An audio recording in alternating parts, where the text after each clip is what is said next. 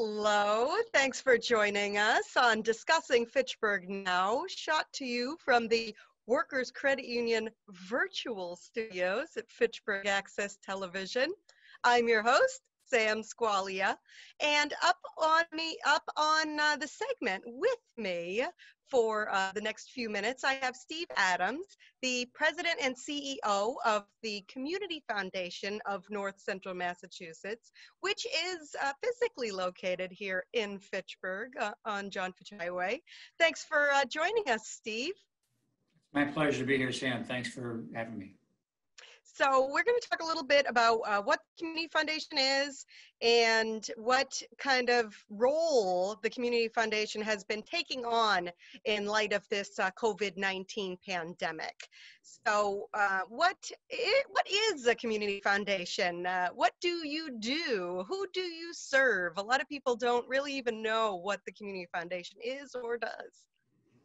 Yeah, well, it, thanks for asking because it's really uh, amazing that we've been here for 18 years and community foundations have been in place in the United States since the 20s, but still very few people really understand what they're all about. And the Community Foundation of North Central Massachusetts, it's a nonprofit created by people who live here in North Central Massachusetts. And our mission is to help people be more philanthropic. We're trying to help grow the amount and the quality of impact of philanthropy in the 33 communities between uh, Littleton in uh, Nashoba Valley, all the way to North Quabbin and everything in between, Fitchburg, Leominster, and Gardner. So basically, we manage over 200 funds that individuals have entrusted with us, and we help them make grants around the region. Every year, uh, we help manage about $4 million in grants in the 33 communities here in North Central Mass. And we also have four smaller funds that the Community Foundation itself manages. In our normal times, we would accept applications for grants in environmental issues, education, uh, community development, and we would make annual grants to a variety of nonprofits around the region. And then from time to time, when emergencies come along, we have a critical needs fund that tries to respond to emergencies. Uh, the current COVID crisis is a very unusual emergency for all of us. So we've been spending the last eight weeks in a process that typically we do once in a one time. And I'll give you an example. There was the fire that happened um, back in the fall in the condominiums uh, here in Fitchburg. Bartley Nolan? Exactly. So we had a, two meetings of our critical committee. We made a grant to the Salvation Army that allowed to get financing into the hands of the victims of that fire. One time, it was great to be able to be helpful. Now we're in week eight of doing the same thing every week to try to address the crisis we're facing here in the COVID. So we're we're providing funds to nonprofits like a food sh- uh, food pantries and homeless shelters. We're working with United Way to help people get the resources they need to manage the crisis. So, in this COVID 19 pandemic, you are kind of uh, um, not only using your own funds at the Community Foundation and the funds of the community member, the, the, the multiple accounts of community members, uh, but you are also administering, um, is it state and federal funds um, from the uh, from the um, COVID relief fund? Is it just state funds? It's actually phil- philanthropy. It's a, it's a Massachusetts statewide fund. So it's a Massachusetts COVID relief fund, but all the dollars are coming from private donations from all over the state. They're able to raise about $22 million from individuals and those dollars are now going back into the regions through community foundations, through 11 community foundations, including ours. So we partner with them. So we were, we were able to raise about $360,000 locally with our local fund holders and donors here. And now we're also receiving resources from the Mass COVID Fund and using those to get funds out into the hands of the nonprofits that need them. So the the COVID uh, Relief Fund is is utilizing our community foundation and, and the other community foundations around the state in order to distribute these funds. So, mm-hmm. uh, what kind of organizations and nonprofit organizations or other organizations are are good are a good fit for these kinds of funds to receive from you? How do they apply to receive these funds? Sure. So the, the purpose of these emergency funds are to really get support into the hands of people who live in the region being affected by the COVID crisis. That would include families who are struggling to get by because they've lost their jobs, they've lost all the income that's associated with their daily lives. It includes frontline workers who are struggling to manage their work of protecting us or providing us with our food and necessities and still try to be safe. So for instance, uh, we've been providing a lot of support to food pantries who've seen a dramatic increase in demand for food. Mhm. Uh, shelters, which have to spend a lot of extra money to be more of a sanitized environment for the poor, for souls who don't have any place else to be. Um, we're actually working with the hospitals, so both Heywood Hospital here in the region and also the um, Alliance Hospitals, Fitchburg, Leominster, Clinton, and helping them buy respirators for their emergency room staff because they just need to be protected. So really, we're working with folks, another, you know, mock and organizations providing direct services to people directly affected by the COVID crisis in one way or another. So nonprofits would apply to us, and it's really simple. You go to our website, which is www.cfncm.org, cfncm.org, and you'll see right on the front page a COVID 19 button. You click on that button, it'll show you how to apply for a grant. And what happens is each week our grant committee meets and considers the grants that are before us, and we make awards uh, that are appropriate. So how long does this grant um, application, do you expect uh, to last till? Is there a deadline? Is the, is the fund being continuously kind of refilled by those philanthropists uh, throughout the state? What do you expect to see from this fund going forward? You know, this is an experience like no other I've ever been through. And I, you know, it's hard for us to predict what the future is going to look like. We have uh, still have some resources left. We've given out about 40% of the funds that we've raised, and we continue to get more donations. So there's money in the pot that we have that's local, and we continue to distribute those dollars uh, carefully. And we also carefully distribute the money coming from the statewide fund. But we expect that this will be going on for several more weeks, if not more months, and we'll distribute funds as long as they're available to us and people have a need. Do you have some examples of, of places that you have funded already? Sure. So places like uh, Jenny's Helping Hand Food Pantry in the region. Uh, uh, the ho- as I mentioned, uh, the hospital here in Fitchburg, Leominster, and Clinton. Um, uh, Our Father's House, which is dealing with uh, folks who are challenged with homelessness. Uh, LUK, who is providing behavioral services to families and, and children who are facing challenges. Um, just a variety of organizations. We also partner with the United Way of North Central Mass, who are getting dollars to other organizations who they work with on a regular basis here in the re- here in Fitchburg, but also across the whole North Central region. Would you say that there are um, a lot of other organizations that are that are smaller that would qualify for this grant?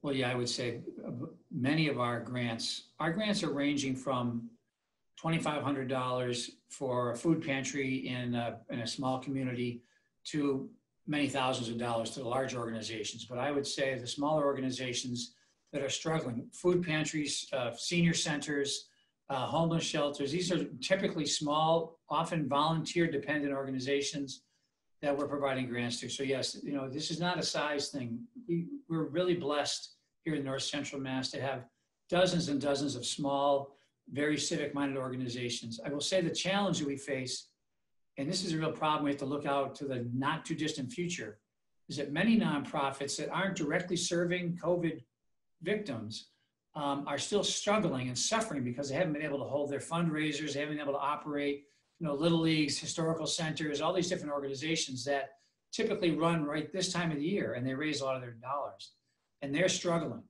And our challenge right now is to really shepherd the dollars we have for the most needy people in the region.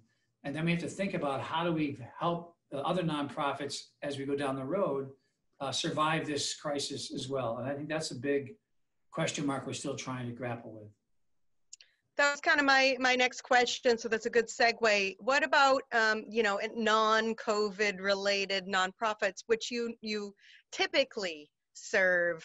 Uh, are those are those grants going to be um, happening this year or do you anticipate kind of most of the funds going to covid relief?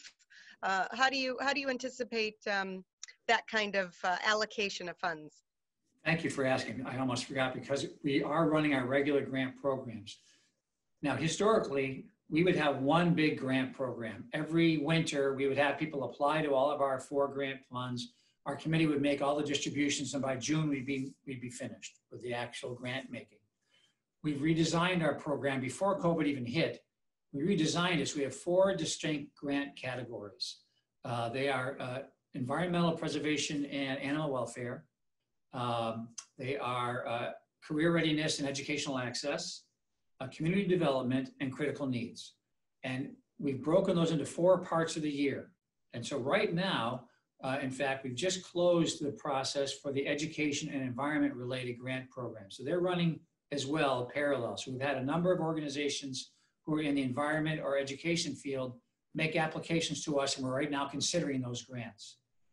In June, we'll have a new grant cycle where our programs around community development will open up and people can apply for grants for those programs as well. And then our fall program will open up for critical needs, which I'm guessing will be focused pretty much on COVID related materials. But, but we are working hard because I have a great team of people here and most importantly, a really generous board of directors who's put a lot of their own personal time.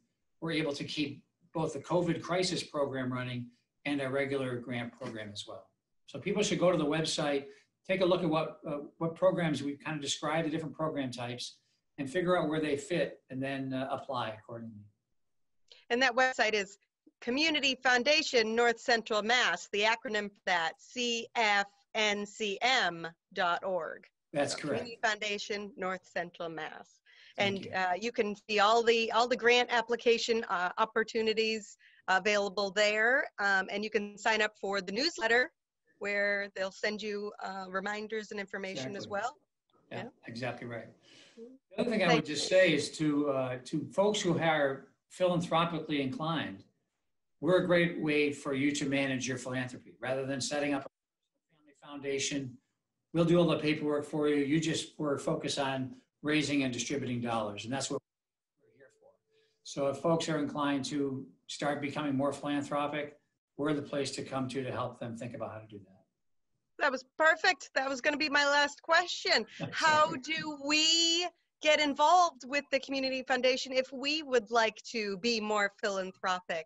Uh, is there like a minimum amount to donate? Can you specify where your funds go? How personalized can you make uh, your philanthropic addition to the Community Foundation of North Central Massachusetts? Well, that's the other nice thing about community foundations. We really can tailor very specifically to the interests of philanthropists. And we have folks here who have funds.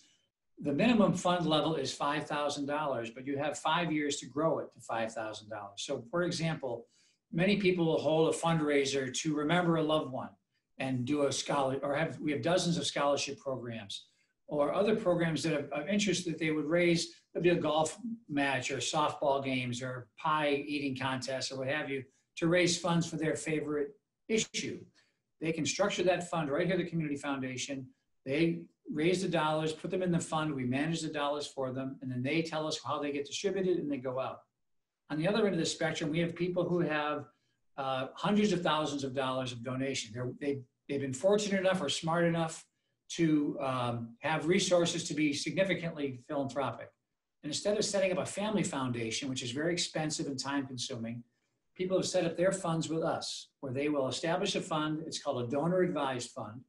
And those dollars, you receive a tax, the tax break for making the donation to the community foundation.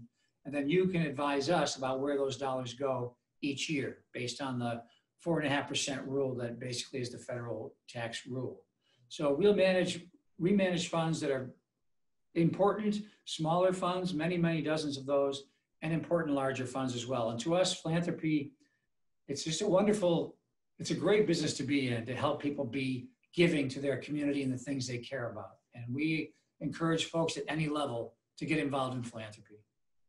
And you don't have to create your own 501c3 or family foundation. You don't have to go through all that all that difficulty and all that expense. Uh, the community foundation can handle all of that for you through their nonprofit uh, ID number and their accounts and their management. And then you can just say, "This is where I want it to go. This is how I want. This is how long I want it to go for, and etc." Exactly. And you know, and we now have a, a, an updated, we're, we'll be launching in June, a new modern online program where donors can go right online and do all the work right online by themselves if they like, or they can call our team and our staff will help direct people uh, in any way that they feel they want. That sounds so great, Steve. Uh. I'm, so grateful for the Community Foundation um, in Fitchburg and, and beyond to your 33 communities, of course. Thank you so much for everything you do, and thanks for coming on and chatting with us. Is there anything else that uh, you'd like to add? Anything we missed? I would just say, you know, I just, I started this job about nine months ago. I'm so struck by the generosity and the creativity of people here in North Central Massachusetts. It's a wonderful place, as you all know. And uh, I'm just thrilled to be part of the community. Thank you so much. All right, uh, Steve Adams, the CEO and president of the Community Foundation of North Central Massachusetts. You can find out more information by going to www.cfncm.org. And thank you so much for watching Discussing Fitchburg Now on the FATV Workers Credit Union Virtual Studios. See ya.